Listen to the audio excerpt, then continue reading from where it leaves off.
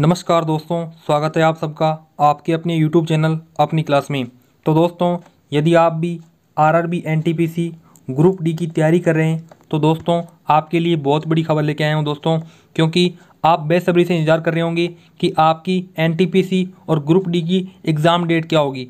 दोस्तों, आपका प्रश्न भी लाजमी है, क्योंकि आपके एग्ज़ाम फॉर्म को भरे हुए एक साल हो गया है, क्योंकि आपने एग्ज़ाम फॉर्म भरे थे फरवरी के अंदर 2019 के अंदर और अब जो चल रहा है वो चल रहा है फरवरी 2020 के अंदर।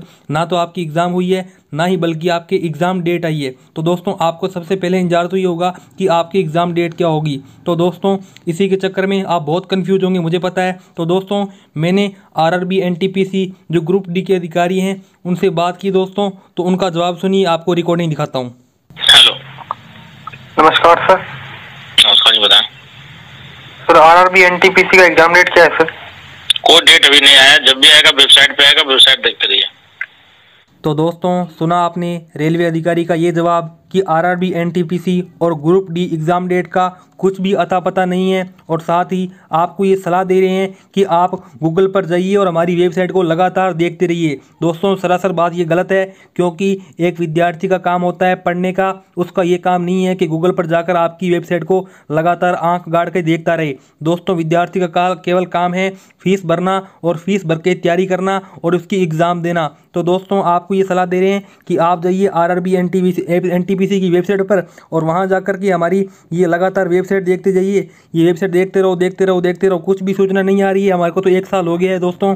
R R B N C ना तो एग्ज़ाम डेट आ रही है ना एग्ज़ाम का पता है। तो दोस्तों ये बात बिल्कुल गलत है कि हमको ये बताया जा रहा है कि आ, इसकी अता पता ही नहीं है एग्ज़ाम डेट का और साथ ही साथ आपको लगातार वेबसाइट देखते रहना है। दोस्तों विद्यार्थी का काम केवल होता है पढ़ने का और एग्ज़ाम फ़ीस भरने का और एग्ज़ाम देने का। दोस्तों, ये बिल्कुल भी काम नहीं है कि उसको एग्ज़ाम डेट का नाम बताया जाए और साथ ही उसे ये सलाह दी जाए कि आप लगातार वेबसाइट देखती रहिए। तो दोस्तों, ये बात तो बिल्कुल गलत है दोस्तों।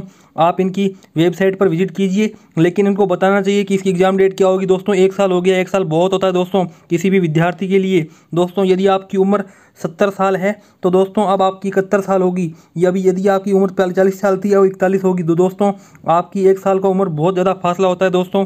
तो आपको ये कहना चाहूँगा कि R R B N T P C और ग्रुप डी एग्ज़ाम्स हैं, उनकी तैयारी कीजिए, लेकिन साथ ही किसी अन्य एग्ज़ाम की तैयारी कीजिए, ताकि यदि इसकी एग्ज़ाम डेट नहीं आ रही है तो उसको पकड़ लीजिए, क्योंकि इसका कुछ पता नहीं है, ये इंडियन गवर्नमेंट है, कुछ पता नहीं है। तो दोस्तों, ये तो मेरी जानकारी थी तो दोस्तों, यदि अच्छी लगी हो तो लाइक और शेयर करें और इस वीडियो को, इस चैनल को सब्सक्राइब करें।